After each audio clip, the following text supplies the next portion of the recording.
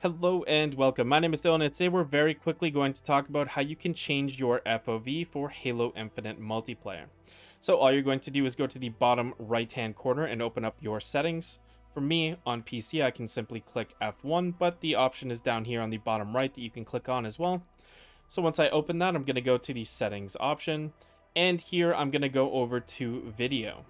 In video it's going to be the first option available here where we're going to see field of view and we have the maximum value of 120 and the lowest value of 65. And we can see on the right hand side over here that it says higher angles enable a wider and taller area at the cost of performance, and then lower angles reduce the fishbowl effect and help with motion sickness if your FOV being raised is causing you in performance, I would recommend lowering some of these other settings, but definitely keeping at least 100 to 120 FOV.